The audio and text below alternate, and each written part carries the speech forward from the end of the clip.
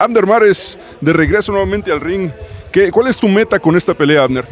Mi meta pues es ganar, es ganar obviamente y este, demostrar que todavía tenemos con qué. Y nada, dame la satisfacción de subirme al ring este, una vez más. ¿Y a largo plazo cuál sería tu, tu meta?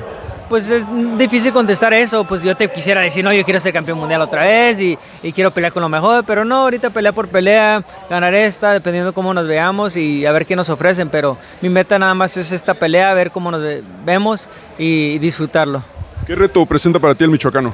Ah, pues obviamente todas las peleas es un reto grande, este, nadie quiere subirse al ring a perder o a verse mal, así que es un reto, pues diferente etapa de mi vida, un reto donde tengo que demostrar que todavía soy capaz y tengo la, las habilidades, más porque tengo cuatro años y medio fuera del boxeo, así que imagínate, es un reto pues este, difícil de, de querer este, pues hacer.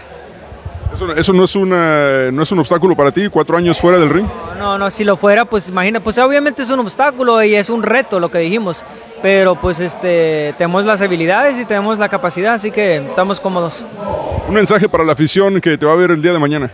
Nada, pues que así como me han visto pelear en todas mis peleas, gane, pierda, sea empate, siempre han sido emocionantes y muy buenas y memorables mis peleas. Esta va a ser este, igual, va a ser igual de emocionante. Ya por último, dejando la bandera de un lado, ¿Andy Ruiz o, o King Kong Ortiz?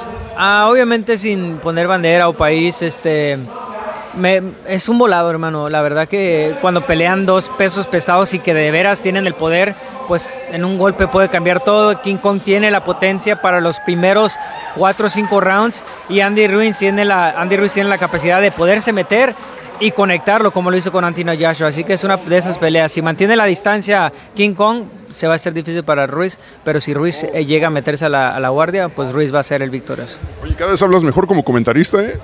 no, pues ya estamos trabajando de eso, pero muchas gracias. Felicidades, mucho éxito. Gracias, hermano.